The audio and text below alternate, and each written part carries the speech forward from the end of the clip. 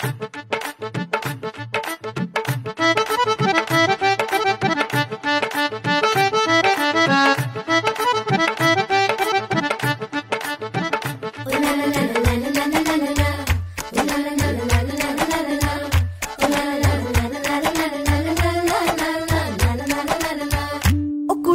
गुड़ किन खा लिया गुड़ वाली चाह किन पीती